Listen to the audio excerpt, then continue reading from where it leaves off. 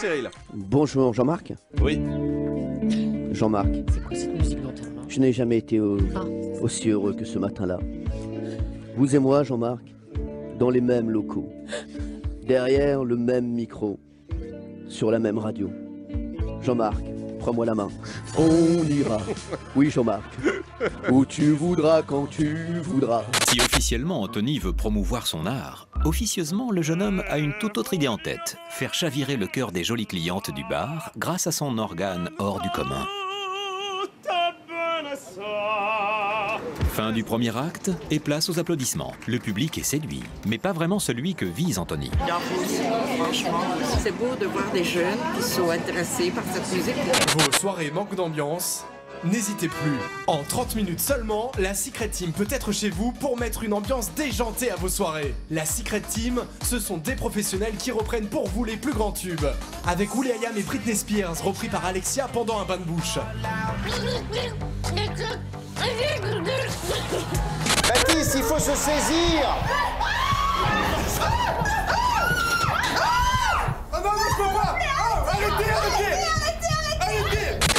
avec euh, Florine pour le conseil santé de la semaine. Tu sais que c'est très bon pour les prothèses de les masser comme ça Merci Florine. J'ai été indépendante. Je suis arrivée là où je voulais avec Gary. Je l'ai remis à sa place.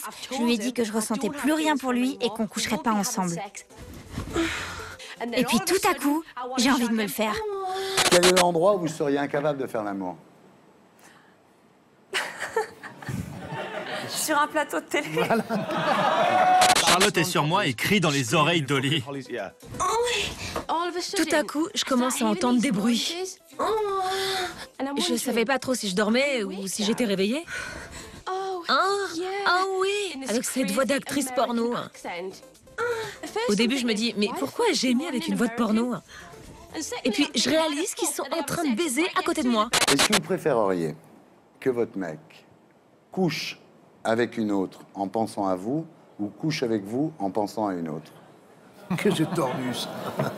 Peut-être que je préférerais qu'un homme couche euh, avec moi pendant que je pense à une autre. Ah Parfois, vous avez été critiqué pour votre style et vous avez euh, fait votre réponse euh, en chanson. Et alors?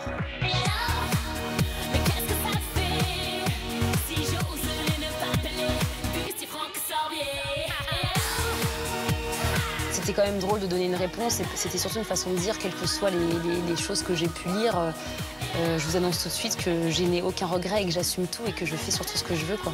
C'est ça qui est beau, c'est d'être libre.